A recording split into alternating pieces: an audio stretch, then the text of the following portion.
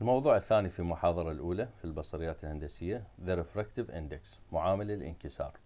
طبعا راح نتعرف على مجموعة من الأسس والقوانين الخاصة أو اللي تحكم البصريات الهندسية وراح تفيدنا خلال دراستنا المستقبلية. أولى هذه المفاهيم هو معامل الانكسار or the index of refraction معامل الانكسار. يعني أما يسموه refractive index or index of refraction. So the refractive index of any optical medium معامل الانكسار لأي وسط بصري شلون نعرفه؟ is defined as the ratio يمكن تعريفه إنه النسبة between the speed of light in vacuum النسبة بين سرعة الضوء في الفراغ and the speed of light in the medium وسرعته في الوسط. هذا تعريف بسيط جدا لل refractive index معامل الانكسار هو النسبة بين سرعة الضوء في الفراغ فاكيوم يعني فراغ إلى سرعته في الوسط. يصاغ بشكل معادلة رياضية N هو هذا الرمز الثابت لمعامل الانكسار في البصريات. يساوي C سرعة الضوء في الفراغ على V اللي هي سرعة الضوء في الأوساط المادية. وبالتالي ما دام سرعة الضوء في الفراغ ثابتة إذا في الأوساط راح تكون سرعتها متغيرة. وعلى هذا الأساس راح تكون لكل مادة معامل انكسار خاص بها فمثلا للزجاج هذه البارامترات طبعا تحفظ لأن نحتاجها في حل كثير من المسائل وهي ثابتة إلا إذا نطت بالسؤال بشكل آخر. مثلا للزجاج ولو عندنا كثير من أنواع من الزجاج معامل انكساره هو 1.52 واحد واثنين وخمسين بالمية. هاي للزجاج بشكل عام. For water للماء N 1.333 for air للهواء N is 1 معامل انكسار الهواء واحد كأنما فراغ. So different kinds of glass أنواع مختلفة من الزجاج and the plastic وال, وال يعني المواد اللدائن أو البلاستيك have different refractive indices. لها معاملات انكسار مختلفة. The most commonly used optical glasses. أكثر شيء نستخدمه في علم البصريات هو الزجاج البصري. And range يعني معامل انكسار هذا الزجاج البصري يمتد from 1.52 to 1.72 حسب نوع الزجاج. The optical density الكثافة البصرية ما دام معامل الانكسار يعتمد على سرعة الضوء في الوسط المادي. إذا عندنا مصطلح آخر راح يواجهنا اللي هو الأوبتيكال density الكثافة البصرية. اللي هي for any transparent medium لأي وسط شفاف.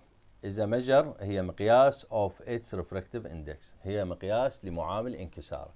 بمعنى الوسط اللي تكون كثافته البصرية آه، عالية يعني معامل انكساره راح يكون عالي.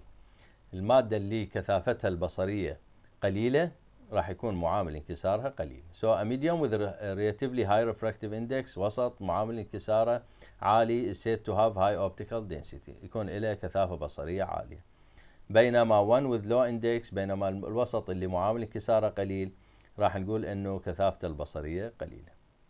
هذا ما يخص المعامل الانكسار وهذه العلاقة مهمة جدا في حل المسائل. الموضوع الآخر اللي عندنا laws of reflection and refraction قوانين الانعكاس reflection يعني انعكاس. هذه المصطلحات تحفظ طبعا لين راح نحتاجها على مدى الكورس. and refraction اللي هو الانكسار. هذه أيضا من الأساسيات اللي تحكم موضوع البصريات الهندسية اللي هي قوانين الانعكاس وقوانين الانكسار. خلينا نشوف شنو هذه القوانين. Whenever a ray of light is incident on the boundary separating two different media. أينما شعاع من الضوء يسقط على حاجز يفصل وسطين مختلفين. Two different media. Part of the ray جزء من هذا الشعاع ray يعني شعاع. Part of the ray is reflected. جزء من هذا الشعاع is reflected back. يعني شنو؟ ينعكس راجعا. ينعكس إلى نفس الجهة اللي إجا من عندها. Into the first medium إلى الوسط الأول. إذا جزء من الشعاع الساقط راح ينعكس راجعا إلى نفس الوسط. And the remainder المتبقي is refracted المتبقي من هذا الشعاع الساقط راح ينكسر. Or bent in its path. ينحرف في مساره. ينحرف في مساره. As it enters a second medium. عندما يدخل وسط آخر. إذا نفتهم من هذا الكلام أن الضوء انتقل بين وسطين مختلفين في معامل الانكسار. ولا لو مساوين إذا كأنما انتقل في وسط واحد ما راح يصير هذه الحالة. إذا لازم أكو different medium. see figure 1 نلاحظ الشكل قبل ما تكمل. هذا الشكل I يعني incident okay؟ الشعاع الساقط incident ray بزاوية معينة phi N هو العمود على زاوية السقوط و R اللي هو راجع إلى نفس الوسط اللي هو ال reflected ray الشعاع المنعكس. عندك N معامل انكسار الوسط الأول N prime معامل انكسار الوسط الثاني. عندك المتبقي من الشعاع الساقط جزء منه انعكس المتبقي هو refracted ray اللي هو الشعاع. المنكسر واحيانا يسمون نافذ T transmitted الشعاع النافذ. A هي نقطة السقوط أو النقطة اللي آه، صار بها آه، سقوط الشعاع على الحد الفاصل اللي هو M و M prime فهذا يلخص لك الأجزاء اللي راح ينفصل بها الشعاع الساقط خلال انتقاله بين وسطين مختلفين في معامل الانكسار الأول معامل انكساره N والثاني معامل انكساره N برايم The directions taken by these rays الاتجاهات المأخوذة بواسطة هذه الأشعة can best be described by two well established laws of nature بالإمكان أن نصفها باستخدام قانونين من قوانين الطبيعة. According to the simplest of these laws استنادا إلى أبسط هذه القوانين The angle at which the incident ray strikes the interface M M prime الزاوية التي الشعاع الساقط يصدم بها الحد الفاصل interface يعني الحد الفاصل بين الوسطين ال boundary هو نفسه M M prime هذه زاوية السقوط يعني بشكل آخر is exactly equal to the angle of reflected ray. هي مساوية للزاوية أو لزاوية الشعاع المنعكس. يعني زاوية السقوط تساوي زاوية الانعكاس. هذه أبسط صيغة لهذا القانون اللي هو قانون الانعكاس. Makes with the same interface والذي تصنع مع نفس آه، حد التداخل So instead of measuring the angle of incidence بدل ما نقيس زاوية السقوط and the angle of reflection وزاوية الانعكاس from the interface من الحاجز أو الحد M prime M M prime it is customary to measure both from common line من الأفضل أن نقيسهم مع بعض من خلال خط مشترك. Perpendicular to this surface. عمودي على هذا الحاجز. This line is N N prime. In the diagram. And is called the normal. يسمى العمود. يقيسوها بالنسبة للعمود المقام. يقيسون زاوية السقوط بالنسبة للعمود المقام n n برايم وكذلك زاوية الانعكاس أيضا يقيسوها بالنسبة لها طبعا إحنا هو أصلا نص القانون إنه زاوية السقوط تساوي زاوية الانعكاس فوحدة من عندهم نقيسها اذا هي مساوية للثانية. This line n n prime in the diagram is called the normal. As the angle of incidence phi increases عندما تزداد زاوية السقوط incidence يعني السقوط increases تزداد the angle of reflection also increases راح تزيد. By exactly the same amount يعني بالضبط بنفس المقدار. So that for all angles of incidence. بالتالي لجميع زوايا السقوط. قانون الانعكاس شنو عندنا؟ Angle of incidence زاوية السقوط تساوي angle of reflection زاوية الانعكاس. هذه المعادلة مأشر عليها بهذه العلامة النجمة. زين. A second and equally important part of this law القانون المهم الآخر stipulated that ينص على that the reflected ray الشعاع المنعكس lies in the plane of incidence. يقع في مستوى السقوط. اذا القانون الثاني من قوانين الانعكاس القانون الأول قلنا زاوية السقوط تساوي زاوية الانعكاس وثانيا أنه الشعاع المنعكس reflected ray يقع في مستوى السقوط and on the opposite side of the normal. وعلى الجانب المقابل من العمود.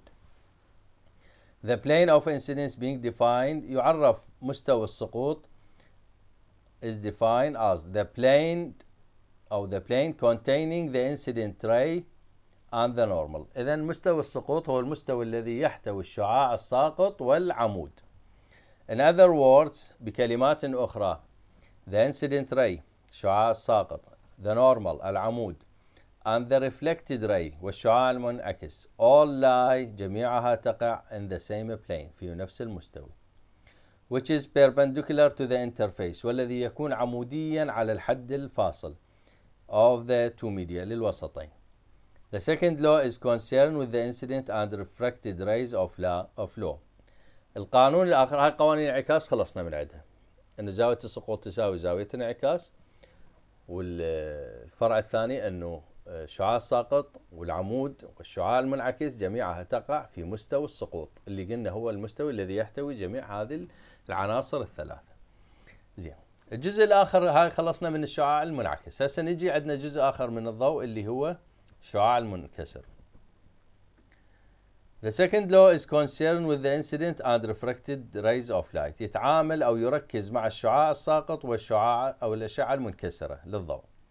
And states that وينص على the sign of the angle of incidence جيب زاوية السقوط and the sign of the angle of refraction وجيب زاوية الانكسار bear a constant ratio تمثلان نسبة ثابتة one to other واحدا إلى الآخر for all angles of incidence لجميع زوايا السقوط بمعنى آخر جيب زاوية السقوط sine phi على جيب زاوية الانكسار sine phi prime يساوي constant. كمية ثابتة. وراح نعرف إيش قد هذه الكمية.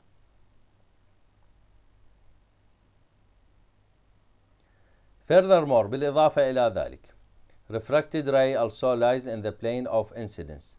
الشعاع المنكسر يقع أيضا في مستوى السقوط and on the opposite side of the normal وعلى الجانب المقابل من العمود.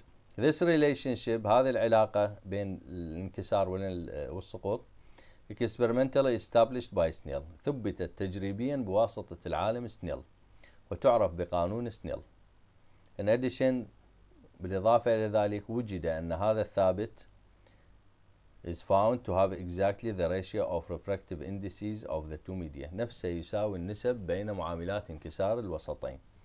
بالتالي راح تظهر عندنا الصيغة الشهيرة لقانون سنيل. هذه المعادلة جدا مهمة.